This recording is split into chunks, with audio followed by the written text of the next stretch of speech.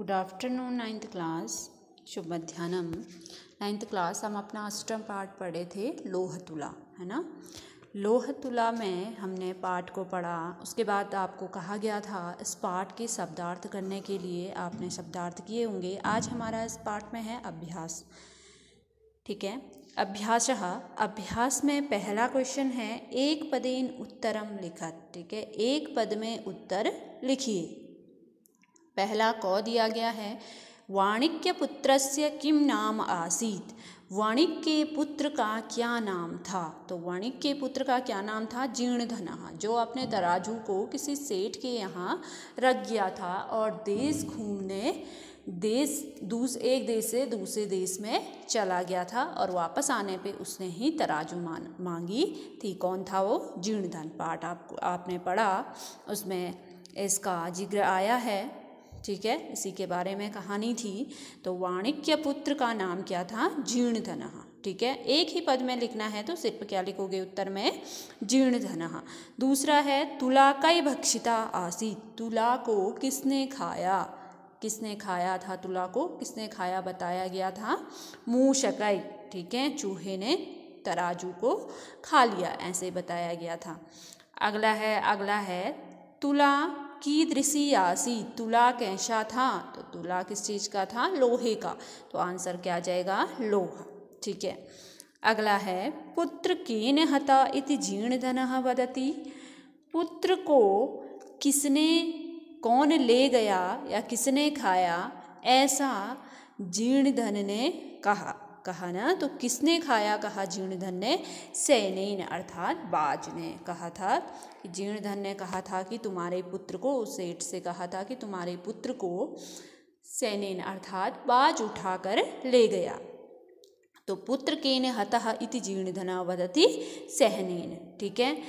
जीर्णधन ने कहा था कि तुम्हारा पुत्र को कौन ले गया? बाज उठा ले गया। तो आंसर क्या आएगा? शयने शय नेन ठीक है।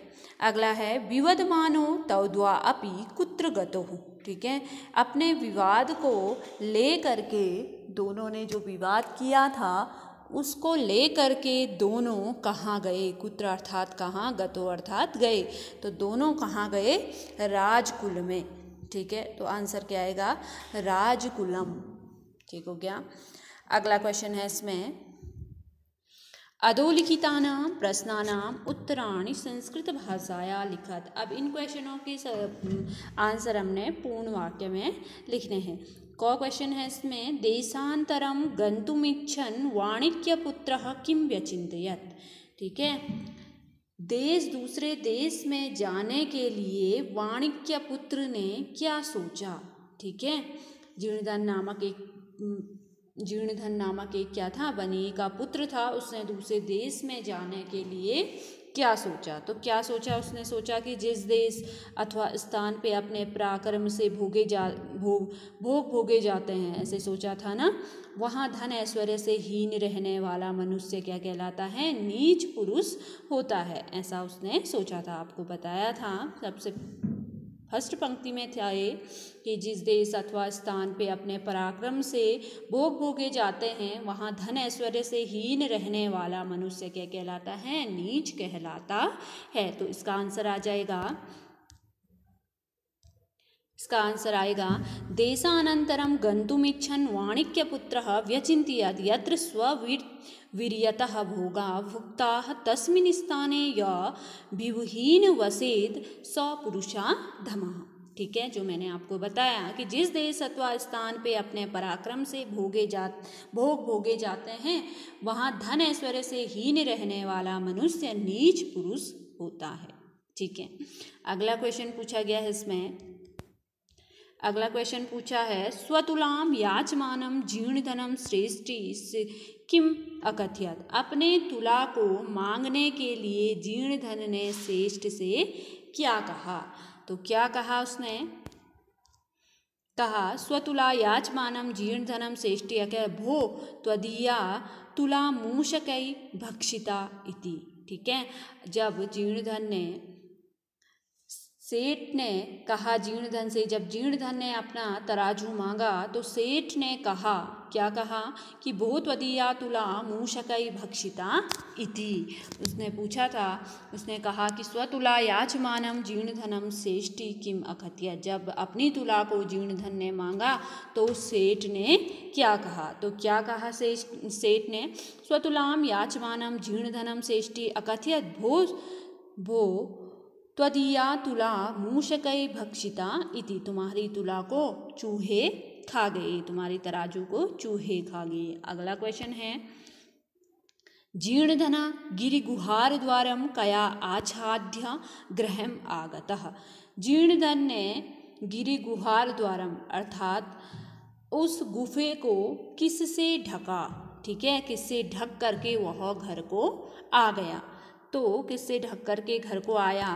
जीर्णधन ने आंसर आएगा, जीर्णधन गिरी गुहार द्वारा बृहद छिलाया आच्छाद्य ग्रहम आगता। एक बड़ा सा पत्थर से उस गुफा को ढक दिया, जहाँ उसने सेठ का किसको, पुत्र को रखा था और घर को वह आ गया। ठीक है, अगला क्वेश्चन है।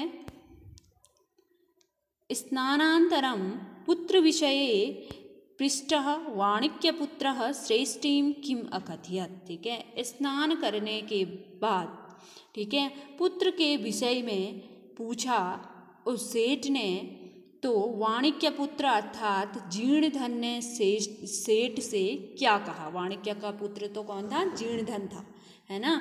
और जो सेठ था, उसके पुत्र को अपने साथ वह स्नान के लिए ले गया था, कौन? जीर्णधन, ठीक है? वाणिक्य पुत्र ठीक है? किसको? किसके पुत्र को? सेठ के पुत्र को ले गया था। यहाँ पे वाणिक्य पुत्र का ज़िक्र आया है, जो कौन है? जीर्णधन है। ठीक है? आए समझ में? और सेठ के पुत्र को जीर्णधन कहाँ? वाणिक्य के पुत्र, सेठ के पुत्र को अपने साथ कहाँ ले गए थे? नहाने के लिए ले गए थे। जब वह नहा करके आए तो से, सेठ वाणिक्य पुत्र ने, जीर्णधन ने, सेठ से क्या कहा? क्वेश्चन ये पूछा गया। ठीक है? तो क्या कहा? जीर्णधन ने जीर्णधन ने कहा जीर्णधन ने कहा स्नानांतरम पुत्र विषय पृष्ठ, वाणिक्यपुत्र, श्रेष्ठीन उवाच। ठीक है, सेठ से कहा, नदी तटाट स बाल शयनेन हतः। नदी के तट से तुम्हारे बालक को बाज उठा ले गया हता, अर्थात उठाना। ठीक है, नदी के तट से तुम्हारे बालक को बाज उठा ले गया, ऐसा कहा किसने? जीर्णधन ने ठीक है? अगला क्वेश्चन है।